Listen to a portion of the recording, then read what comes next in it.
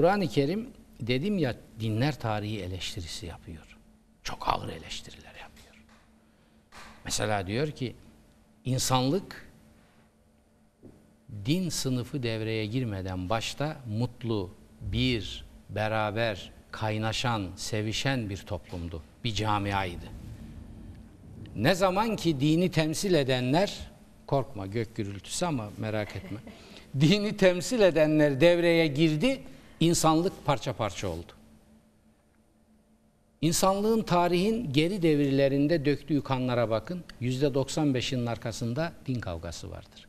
Peki Cenab-ı Hak bu dini bunun için mi gönderdi? Yok. Peki kim bu dini bu hale getirdi? Dini temsil ettiğini söyleyenler. Türkiye gibi bir ortamda ise din adına avukatlık yapanların toplumun önüne koyduklarına lütfen bir kere daha bakın bu sözlerden sonra. Niçin Kur'an-ı Kerim dindarlık yani takva, o Arapçası bu Türkçesi. İnsanlar arasında ölçü olmasın diyor. Olursa işte böyle olur. Siz insanlar, mesela Kur'an-ı Kerim diyor ki, kamu haklarına musallat olanlar, milletin malını bir biçimde talan edenler, aşıranlar, çalanlar, dini inkar etmiş sayılırlar. Bunların dini imanı olmaz. Bunu söylediler mi size İslam dini adına?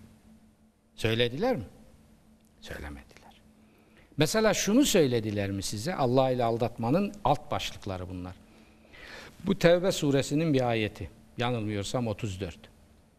Diyor ki ey iman edenler bu dini temsil edenler hahamlar, rahipler, ta hocalar diyecek hali yok çünkü Kur'an o zaman vahiy oldu. Biz oradan o dersi çıkaracağız.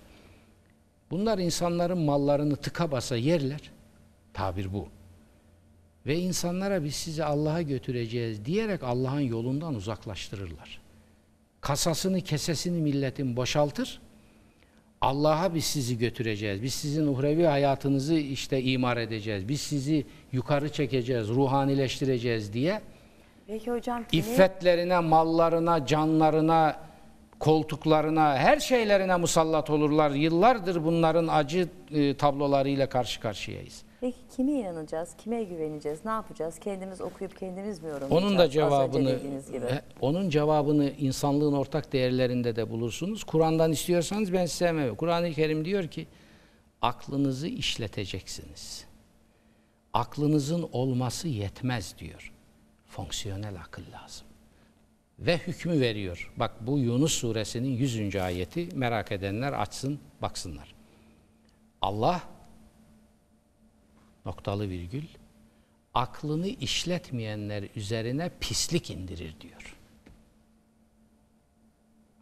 Şimdi Aklı- Atatürk aklı diyoruz. işletmek var, aklı işletmek var. Ha, ha işte ak- aklı işletmek, işlettin mi işler o. Bir de aklı birine kiraya verip sadece kendinde taşımak var. Şimdi Atatürk diyoruz. Atatürk büyük. Niye büyük Atatürk? Atatürk İslam dünyasında aydınlanmanın önünü açtı. Nasıl açtı? Aydınlanmanın önünün açılması ne demek? Batı'da da böyledir bu. Felsefe tarihinde böyledir. Aydınlanmanın önünün açılmasının insanlık bünyesinde ortak bir anlamı var. Akla vurulan prangaları kırmak. Büyük Atatürk İslam dünyasında akla vurulan prangaları kıran adamdır. Aklın işletilmesinden rahatsız olanlardır ki Atatürk'ü İslam dışı ilan ediyorlar. Çünkü onların hakikaten canını yakmıştır. Ama unutmayalım ki eğer Kur'an teşahhüs etse, kişileşse ve bir eyleme kalksaydı Atatürk'ün yaptıklarını yapardı. Yani aklın prangalanmasını durdururdu. Çünkü kendisi diyor. Dolayısıyla nasıl bu işin içinden çıkacağız? Bir, Kur'an beş tane adrese yollama yapıyor. Ben Kur'an derken bazıları zannediyor ki şimdi Kur'an Kur'an diyeceğim. Bazı çok özür dileyerek kullanacağım ama bunu kullanmak zorundayım. Bu benim hakkım ve görevim. Bazı şerefsizler de var. Görüyorum internetlerde orada burada. Efendim nihayet Yaşar Nuri de gayet şık giyinen, e, güzel tıraş olan, efendim modern görünümlü, işte tahsili de bilmem ne ama nihayet o da bir saray mollasıdır. Bakar mısınız? Öyle diye diye Allah bunları mollanın en berbatlarının ayaklarının altına soktu. Şimdi ben Kur'an-ı Kerim, Kur'an-ı Kerim derken şunu demiyorum. Tarihten bize intikal eden fıkıh kitaplarına gidelim. Biraz oradan alalım, biraz buradan alalım. Böyle bir yönetim gefi. Hayır. Ben şuna inanan ve bunu dünyanın önünde ispat eden ve etmeye de her zaman hazır olan bir insan olarak görüyorum kendimi. Kur'an'ın dediği toplum olarak laik, demokratik, sosyal hukuk devleti.